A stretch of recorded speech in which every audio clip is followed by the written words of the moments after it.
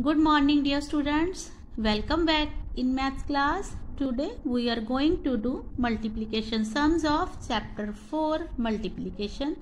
So let's start it. Multiply the following. First sum 13 into 3. Students first of all we will write ones and tens. After that we will multiply. This is the sign of multiplication. Now we will read the table of 3 up to ones placed is at 3. So let's read the table of 3 up to 3. 3 ones are 3, 3 twos are 6, 3 threes are 9. We write here 9. Now we will read the table of 3 up to tens placed is at 1. 3 ones are 3.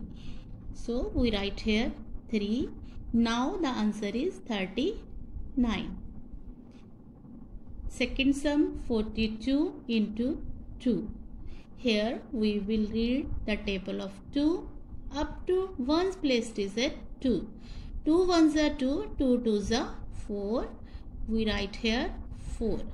Now we will read the table of 2 up to tens place is at 4. 2 ones are 2, 2 twos are 4, 2 threes are 6, 2 fours are 8 we write here 8 now the answer is 84 third sum 32 into 3 here also we read the table of 3 up to tens place uh, ones place is at 2 3 ones are 3 3 twos are 6 we write here 6 now we will read the table of 3 up to tens place is at 3 3 ones are 3, 3 twos are 6, 3 threes are 9.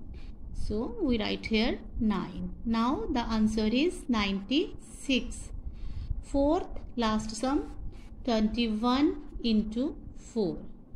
Here also we read the table of 4 up to ones place is it 1. 4 ones are 4. We write here 4. Now we will read the table of 4 up to tens place is it 2.